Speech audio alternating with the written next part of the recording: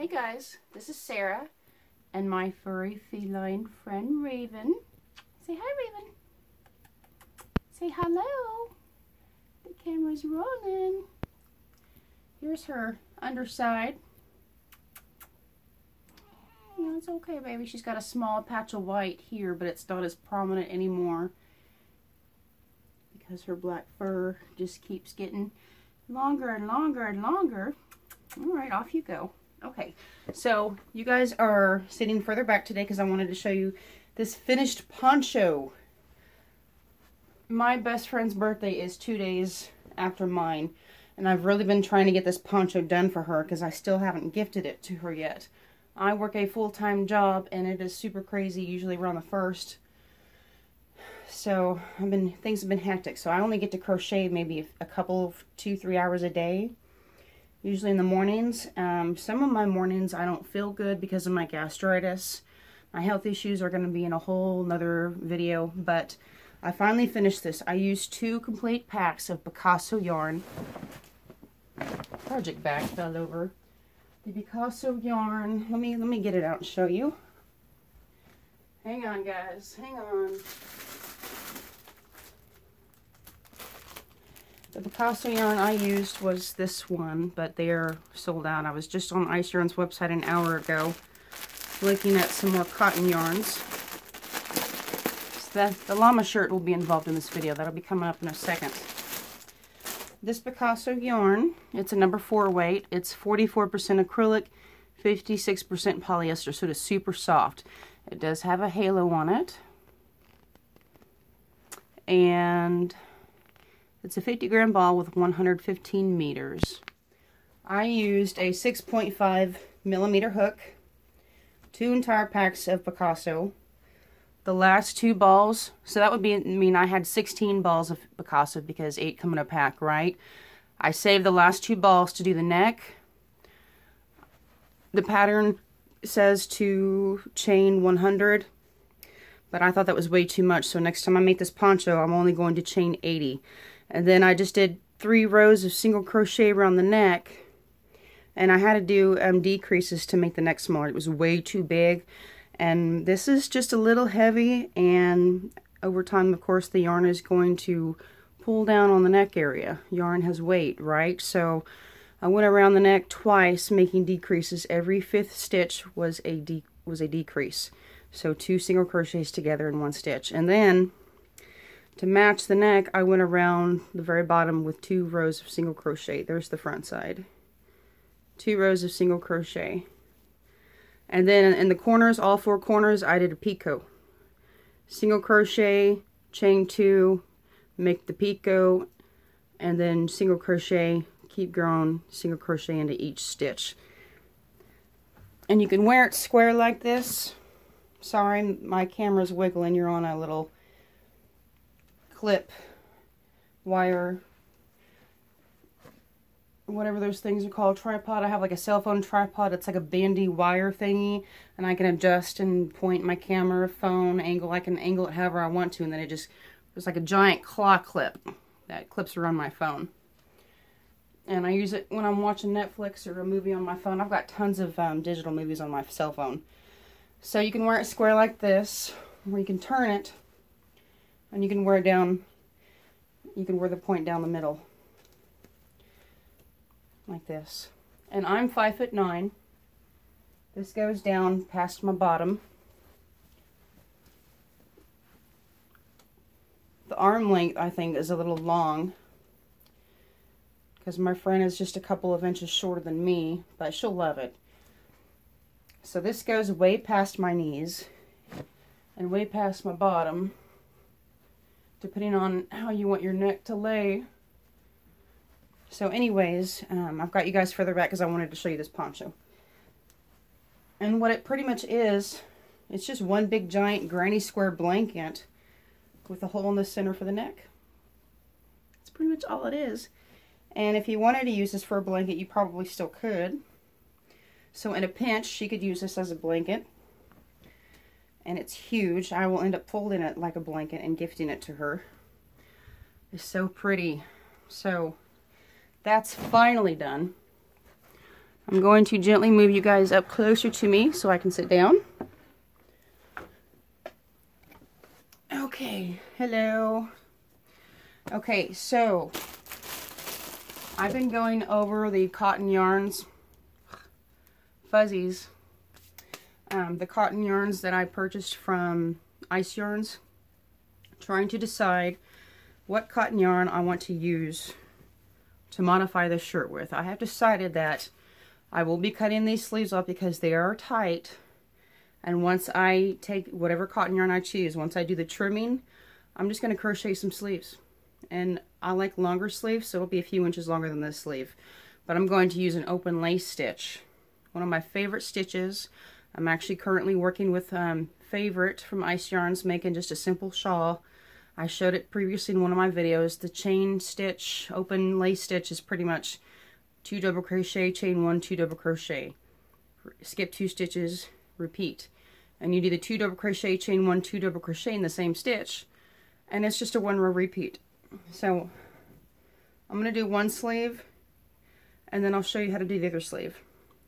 I'm going to just put trim around the bottom and then I'm going to have the neck pretty much dotted. I'm not going to crochet, I'm not going to trim the neck, but I will have it dotted. And then on the sleeve, I'll have it, I'll have it like this, and I'll show you how to cut it off. Um, how to dot it, cut it off, all that stuff. I'll, I'll leave this one bare, and I'll show you how I did everything. Um, because right now I, don't have any way to um, edit my videos, so I want to make any tutorial I try to do, I want to have that video as short as possible, so I'm not boring you guys with my crochet work. Um, so I made samples of the yarn so I could test out and see what I wanted. The first one I got was the Giglio cotton. It was $2 for a six pack. There's the number. They may still have some if you want to write this down. A six pack for $2 and it's a number one fine. But I tripled the yarn up and I worked with three strands at once. And so I just made a three round circle and it's it's polyester and cotton but it's scratchy it's um 67% cotton 33% polyester 385 meters so divide that by three if you're going to triple the yarn up to make it a number three weight and I also used a four millimeter hook this is one of the hooks that I bought in the set off Amazon for 16 bucks. Again, I'm a cheap ass. Sorry, but that's that's me. I'm a cheap ass. Anything I buy, I'm gonna make sure it's good quality, and I'm gonna make I'm gonna make sure it's a bargain. So there's metal all the way through, the entire length of the hook, and then this is a um, ergonomic silicone grip. It's got a flat part on both sides, so your thumb can can stay in place when you work and the size is actually indented. Can you see that? Yes, you can see that. I love that. The size of the hook is indented because on the other side, it's already mostly faded off. So I'm really glad that they did that. And if you can see this, it is an inline hook and it has that point on the head that I like. It makes it so much easier, so much easier to go through your stitches. It has that point on the head, which I love in case your tension is too tight or if you have a stitch that's too small. But most of the time, especially if I take work with me, a good tip. Anytime you take a project with you, include a tinier size hook in your back so that if you do have trouble going into your stitch, you can use that tinier hook. You can pull up on the stitch more. And then once you pull up on that stitch, you can put your original hook in and continue your work. I always keep a smaller hook with me when I'm working on a project. So I'm not going to go with the Giglio cotton because it's scratchy. It's soft, it's nice, but it's scratchy. So I think what I will use this for is I'm going to crochet up some granny rectangular um, kitchen towels, which I think would, would be fun. And I'm going to use this as an accent trim. Uh, the natural cotton, I used a 4 millimeter hook as well, which they also say is a three weight yarn. That's the natural cotton I used, just plain black. 100% uh, cotton, number three weight yarn. But it's very, very, very splitty. I don't like working with this at all. I struggled. If you can see closely, there are snags and little bitty fibers of the cotton sticking out that did not catch with the rest of the looping. It looks worse on the backside. So I don't like working with this. So then I went up to a 5 millimeter hook and I didn't have as much trouble, but the yarn was still splitting. I still had some trouble. There's the back side. But I'm going to be stitching that hook through this material. This material is very stretchable. It's very breathable. It's very light. The tag on the bottom says it's made out of 65% polyester, 35% cotton. Very lightweight summer shirt. So I don't want to use a big fat hook to go through this material because the bigger the hole, the higher chance you have of it tearing. So I want to use the smallest crochet hook as possible. So now I'm thinking of, I tried Alara. Where is my Alara? Let me just take this down and grab it. I use the gray just to test it out. The Alara is 50% cotton, 50% acrylic. And that's the color I used. I'm contemplating using the lilac orchard, orchard, whatever, orchard, and this colorway of Alara. Because you can see a tiny bit of pink on one of the balls of yarn on the head, and then of course the nose is pink, and I think that would go well. This yarn actually feels comfortable and I love how it works up. It's so easy to work up. It glides so smoothly over my hook, just like it's butter. It doesn't split. It's a number three weight yarn, four millimeter hook. Alara is awesome. I highly recommend buying Alara, especially if you like working with, with uh, cotton yarns. Um, but it does have acrylic. Acrylic can be warm. There's no acrylic in the shirt, and it is a summer shirt. So then, I mean, this would be gorgeous. I would love to have this in just a plain 100% cotton. If any of you ladies know where I can get this in like a bamboo or cotton, if you can include a link, that would be better. Or if you, you could just tell me where I could find it. So then I crocheted up a sample in this Lorena Colorful. Yarns that I have already purchased from Ice Yarns. I've ordered so much and I've got so much cotton now. I really don't want to buy any more cotton, especially since I just ordered three more types of yarn to try not, not, not successful, not great. So, Lorena, let me see. I should have had this on a hanger. What do you guys think of the Lorena with this? Here is, where's my sample that I worked up?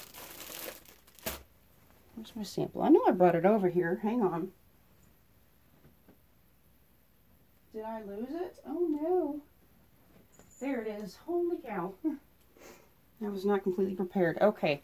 Sorry about that, guys. Here is the Lorena sample worked up. What do you think about this colorway with the colors in the llama shirt? I could use this for the trimming around the neck, around the hem of the around the bottom hemming, and then to make the sleeves. What do you guys think? I have to lay it out and think about it, but I do like the colors in this yarn. It's the purple lilac shades. It's got a touch of turquoise and some yellow, which, you know, there's yellow on the llama shirt. And you can see all these gorgeous colors in it, and there it is worked up. So, if you wouldn't mind, leave a comment. Let me know what you think. If I should use the Lorena or if I should use the Alara Orchard. Um, Again, the Alara is 50 cotton, 50 acrylic, and the Lorena, I may go with the Lorena because, I'm going to do with that label. I think it's just a touch more cotton. 55% cotton, 45% acrylic. So the acrylic level is down. Let me hold this up again. I hope I'm not boring you guys. I'm really trying to decide if I want to do this one or if I want to use the plain solid color in Alara.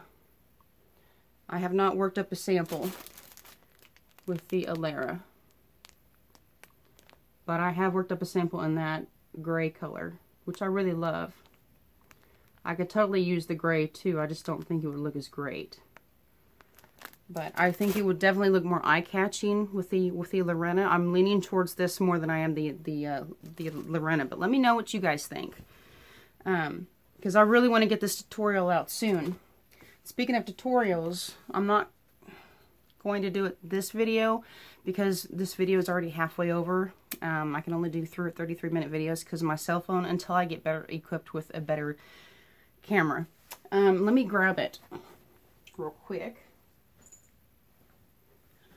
I was watching Jennifer's channel on Cinnamon Stitches. And I'm going to tag her with this because I want to ask her too if she can do a close-up of this. Okay, right, just to the right of Jennifer's head, you see her little heart. It says Cinnamon Stitches, subscribe, whatever she's got. It's on her little bookshelf right back there. And then right directly on her heart, there is a small group of brightly colored, what looks like yarn hanks. And they were like, just, they just look, look like small little twirls of yarn. And that gave me an idea to make something like this. And add something to put it over your finger with. And guess what this is? 100% cotton cat toy. I had the idea. That's that's how my brain works. If I see something that looks interesting, it catches my eye, I can have an idea of what that could be. I'm like, that looks like a, it could be like a cat toy.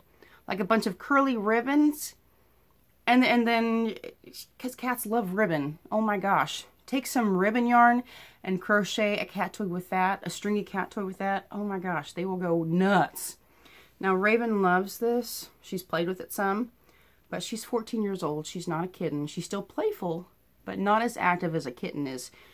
You hang this over a kitten's little face, you, you know, run it across the floor back and forth, yeah, your kitten will go nuts all day long over this until they pass out. So I will do a tutorial on how to make this. This took me like 15 minutes to make it. So I can make a quick little short tutorial for this once I clear my table. I will show you the yarn I used. I will show you the size hook I used and all that stuff. And it's so easy. You don't have to be precise on the lengths of these curls.